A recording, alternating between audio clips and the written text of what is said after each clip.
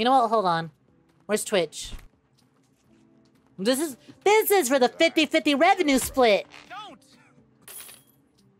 This is for making ads unbearable. This is for only serving like two of the same ads for three whole months. Get some fucking variety at least. Stop it! And this is for probably banning me right after I get my new model, let's be real.